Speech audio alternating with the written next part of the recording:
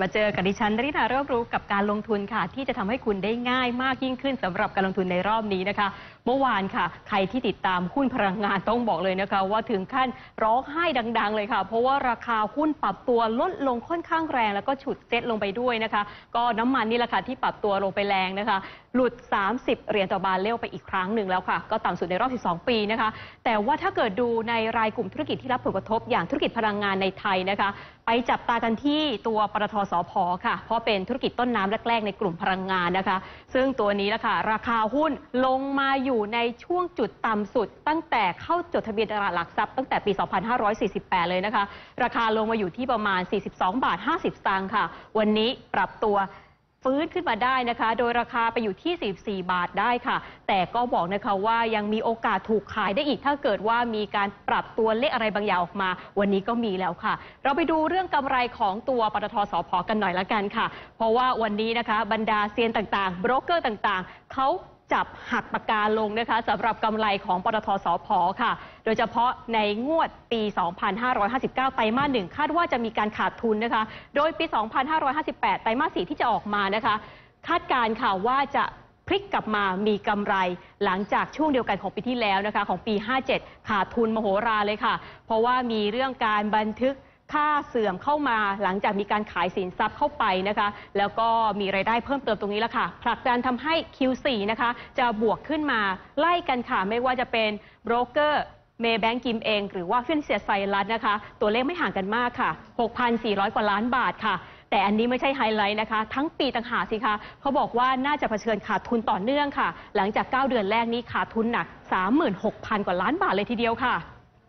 นอกจากกำไรที่ออกมาตรงนี้แล้วนะคะ เราไปดูอีกตัวเลขค่ะ ก็คือค่าการกันค่ะ ตรงนี้จะเป็นเรื่องของราคาน้ำมันดิบที่มีส่งผลต่อเขาด้วย ตอนนี้นะคะเขาบอกว่าค่าการกันก็ไม่ค่อยจะสู้ดี มาจากเหตุผลราคาน้ำมันค่ะ มีการดูนะคะว่าราคาน้ำมันดิบดูไบนะคะ จะปรับลดลงค่ะ อันนี้เป็นตัวเลขที่มีการปรับลดลงไปแล้วนะคะ เริ่มกันที่ปี 59 คือปีนี้นะคะ จะอยู่ที่ 45 เหรียญต่อบาร์เรล ลดลงไปถึง 18%ค่ะ จากคาดการณ์เดิมที่เขามองกันไว้นะคะ ส่วนปีหน้าค่ะ จะลงไปอยู่ที่ 55 เหรียญต่อบาร์เรล ถ้าเกิดต้นทุนมาอย่างนี้แล้วกำไรของปตท.สผ.เนี่ยแน่นอนนะคะว่าจะหายไปเยอะเลยทีเดียวค่ะ ก็เรียกว่าเป็นผลลบนะคะสำหรับการคาดการกำไรของหุ้นตัวนี้เลยทีเดียวค่ะ ดังนั้นบรรทัดสุดท้ายของเขาเลยมีการปรับราคาหุ้นปตทสอพอใหม่ด้วยนะคะ แล้วก็ส่งผลทำให้ต้องมาคิด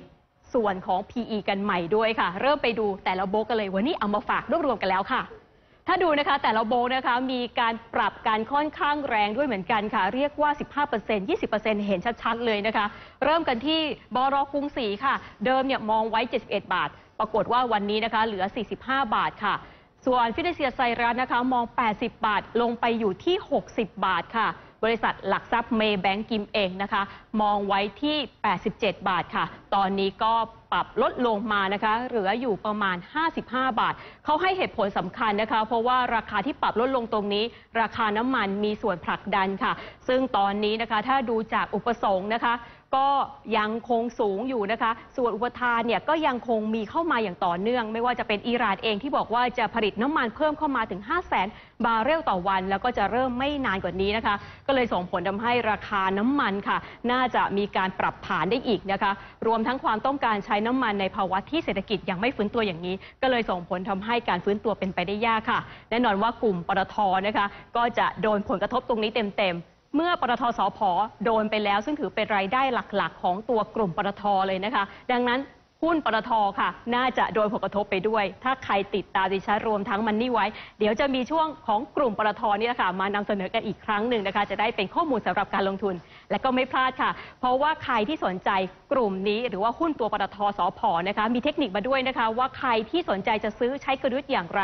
แนะนำนะคะ ตอนนี้ถือไว่าอย่างเดียวเลยค่ะ แล้วก็หาจังหวะซื้อมากกว่าที่จะขาย เพราะตอนนี้ขายก็คงไม่ทันแล้วนะคะ ราคาลงไปทำจุดต่ำสุดแล้วค่ะ เพราะว่าการฟื้นตัวน่าจะมีมากกว่าเพียงแต่แก๊ปอาจจะไม่เยอะแล้วนะคะ ดังนั้นติดตามในช่วงของ Money Wise เลยค่ะ เดี๋ยวจะแนะนำให้นะคะสำหรับหุ้นแต่ละตัวแต่ละกลุ่มในช่วงนี้ค่ะ เอาละค่ะเราไปเบรกกันก่อนค่ะ ช่วงหน้า World News นะคะ ไปติดตามความคืบหน้าค่ะ หลังจากมีข่าวว่ามือกีตาร์วงดีเออร์เกอร์นะคะ เสียชีวิตลงเรียบร้อยแล้วค่ะ